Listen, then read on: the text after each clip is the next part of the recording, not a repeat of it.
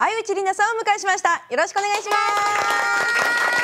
あゆちりなですよろしくお願いしますさあもう、はいどんどん寒くなってきましたけれども、本当にいつもあのこの季節はお鍋をよく食べるとそう聞きましたけれども。うんもう最近もすごい凝ってて、はい。まあ一番好きなのがはい。すき焼きなんですけど、おーもうちゃんとすき焼きも醤油と砂糖からはいちゃんとはい。やったり、まあキムチ鍋、あいいですね。うん。ちょっとピリ辛で、うん。ね。あとなんかちょっと最近作ったのが、は洋風の、はい。うん、ミネストローネ鍋。はい、おミネストローネ鍋。ちょっと野菜たっぷりで、えはいはいはいはいなんかこうトマトトマトとかもそうトマトベースでトマトも入っててちょっとはいカブみたいなのも入っててじゃがいもも入ってて、はベーコンも入っててあみたいいいですね。スープと鍋の間みたいなんあだだけどえそれの時は締めはどうするんですか、よくあの鍋で例えばラーメン行ったりご飯行ったり、最後に入れたりしますけど。けどえっとまあその時によるんですけど、は最近い。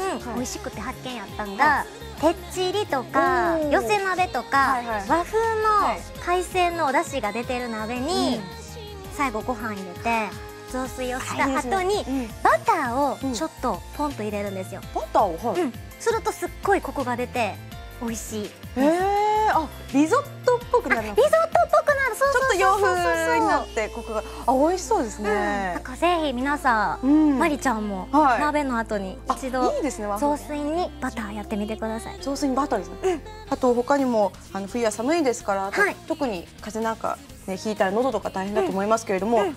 今ケアしていることってありますか？えっ、と喉で。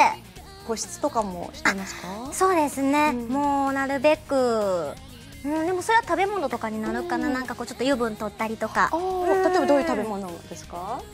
ピザとか。思い切り。焼肉とか。焼肉とか。あともうあのお腹いっぱいにならないように潤すためにちょっと天かすなボリボリボリって食べたりとか。添加されるんですか？そのままそのまま。それで潤うんですか？